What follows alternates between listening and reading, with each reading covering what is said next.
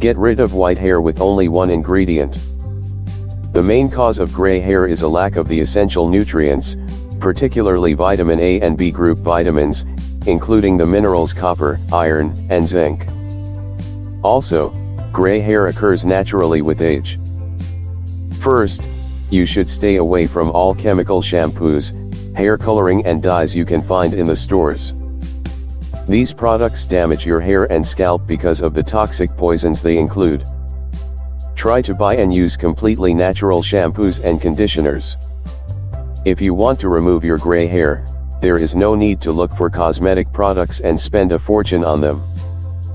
Not only you hope for the needed result, but also those products won't help you.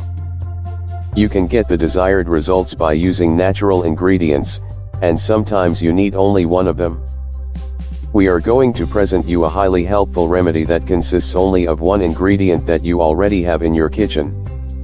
The needed ingredient is a cup of potato peel.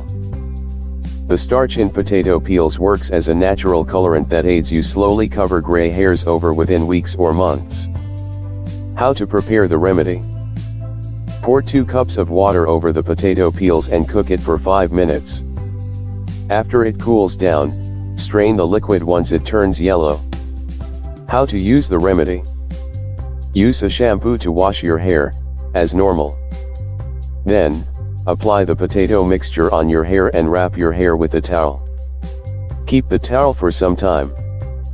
Use this remedy once in a week, the potato mixture will reduce the gray hair and make your hair darker. If you liked the video please subscribe. Thank you and stay well.